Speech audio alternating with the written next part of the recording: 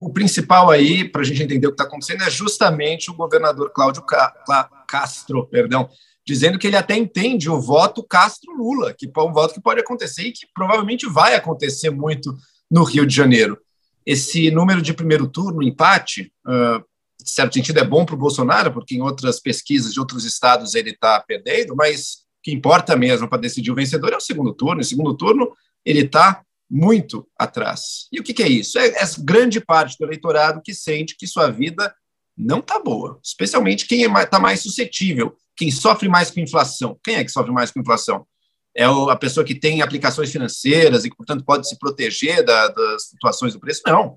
São as classes mais pobres, pessoas mais pobres que sentem direto o preço do mercado subir muito antes de qualquer reajuste salarial acontecer na sua vida. Então, essas pessoas que ainda têm, inclusive, a lembrança de que houve tempos melhores com Lula, vão votar no Lula por, toda, por todas essas memórias positivas, querem ser felizes novamente. Hoje em dia o brasileiro não está e o Brasil não está muito feliz, e não vejo nada que indique uma grande mudança nisso.